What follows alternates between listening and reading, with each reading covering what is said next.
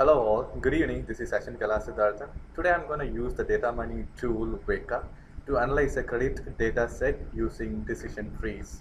So let me share my screen and get on with it. So the data set which we are going to use today is a German credit data which are like multiple factors which can affect the uh, credit worthiness of a person. So I just opened the data here. Let's go to Weka and load the data set. I just loaded the data set here. You can see that it has like thousand instances and like has like 21 attributes.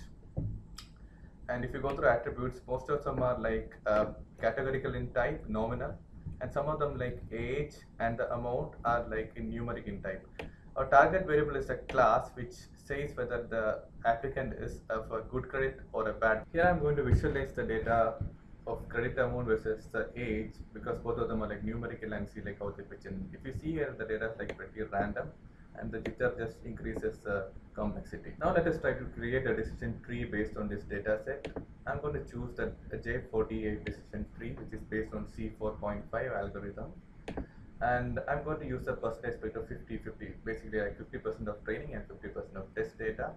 Here is my first run so you can see like there is a 72.4 accuracy out of the 500 instances which was used. It had a 362 uh, correct and 138 incorrect.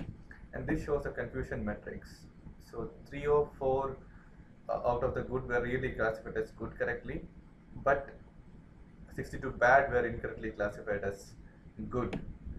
So if you see here the size of the tree, and by the way, this is a decision tree. This is how it will look like for each of the conditions and the number of leaves is 103 and size of the tree is 140 which is like fairly large. This is how we visualize the tree as well.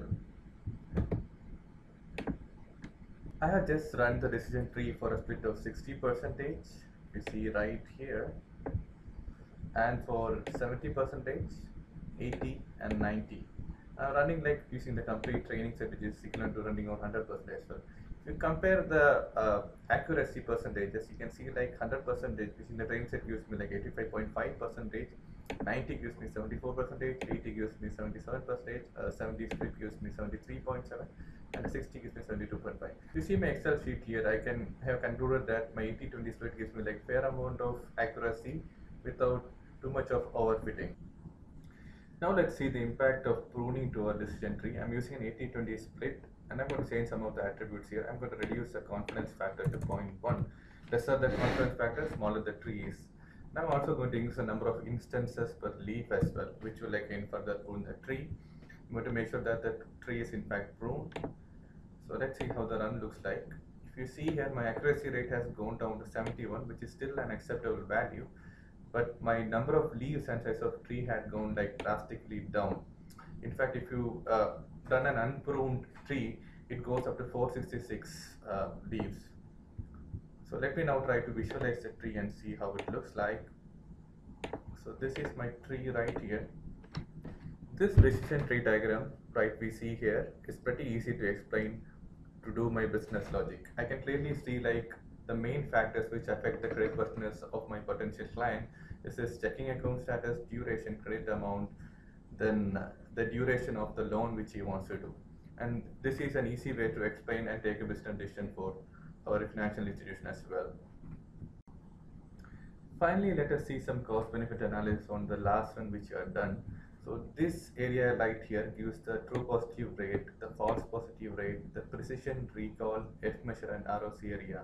ROC is a receiver operating characteristic and it usually compares the true positive rate with the false positive rate. Here I'm just going to plot the ROC curve for uh, class value of good for the good credit customers. If you see here like X is like false positive and Y is true positive.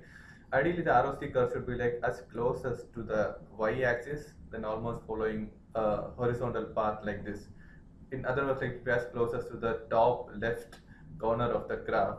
Our graph is not really up to the mark but I can take it and the area of the ROC curve should be as large as possible which in this case should be tending towards 1 and finally thanks for watching